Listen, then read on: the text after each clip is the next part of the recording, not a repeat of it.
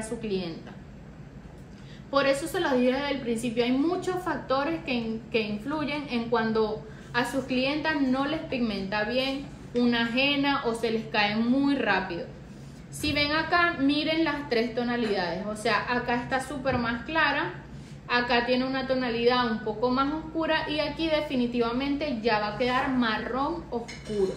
Y todo eso lo lograron ustedes con un solo pigmento.